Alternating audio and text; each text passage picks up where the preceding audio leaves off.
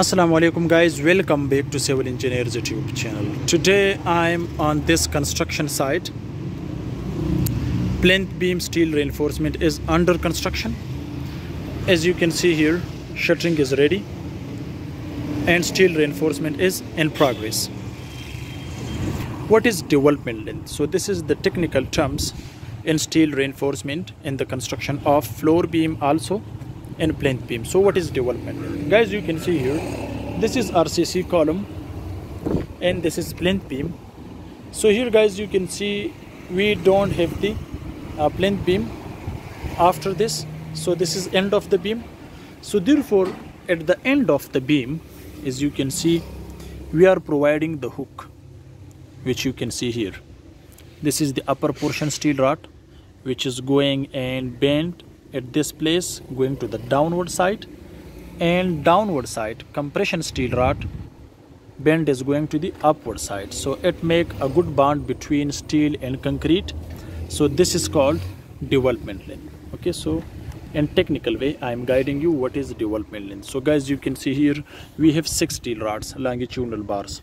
Three at the bottom three at the top. Okay so here at the end for each bar we have the hook length okay which is called development length. So these hooks are bent with the help of binding wire as you can see here.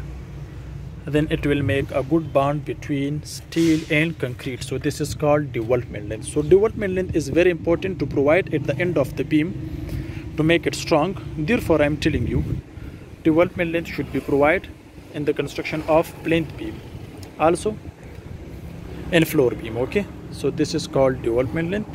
Let me show you another beam. Here you can see this is other beam. This is end of the beam because we don't have more construction here. So this is end. So if this is end so at the end we have here development length. You can see the downward steel rods are going to the upward side and the upward side steels are going to the downward side okay? So this is called development length.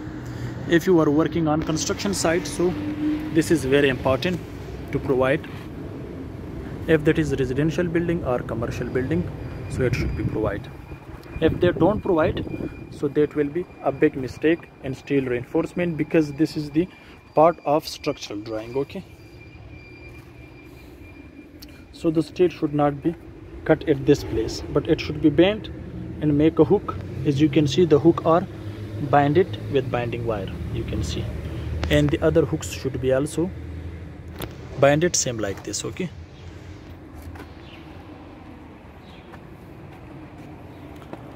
You can see because this is the running length so therefore we are unable to provide the development length. So the development length you will see that is the end of the beam and this is the starting point. So the starting point and end point of the plinth beam are floor beam.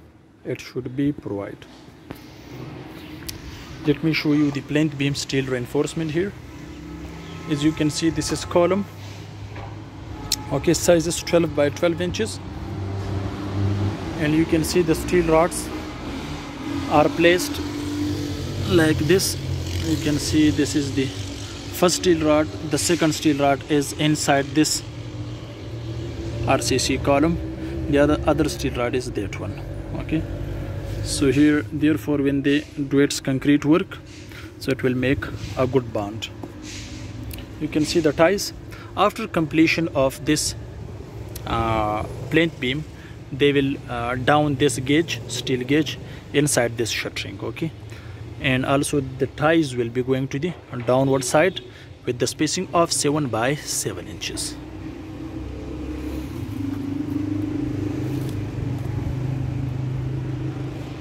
Now let me guide you for more details.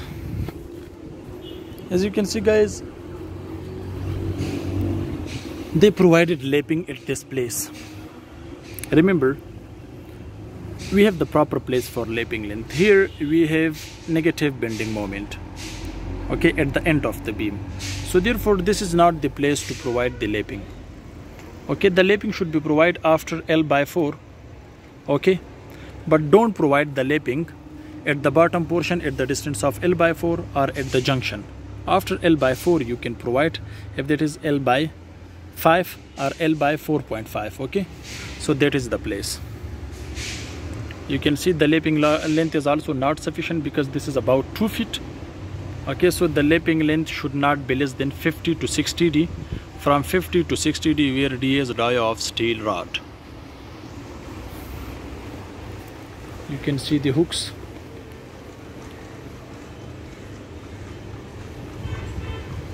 Dia is 10 mm with the spacing of 6 inches